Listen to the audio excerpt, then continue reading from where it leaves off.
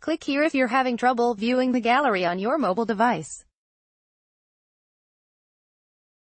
First Lady Melania Trump boarded a flight to a facility housing migrant children separated from their parents wearing a jacket that read, I really don't care, do you? The green hooded spring military jacket has the words written graffiti style on the back. When asked what message the First Lady's jacket intended to send, spokeswoman Stephanie Grisham said, It's a jacket. There was no hidden message. Mrs. Trump wore a different, pale yellow jacket when the plane landed in McAllen, Texas, for a visit to the Upbring New Hope Children's Center, which houses 55 migrant children. The trendy jacket, from the Spanish fashion retailer Zara, sharply contrasts with the First Lady's typically high-end foreign-flavored wardrobe. In public appearances, the First Lady has worn designs by Dolce,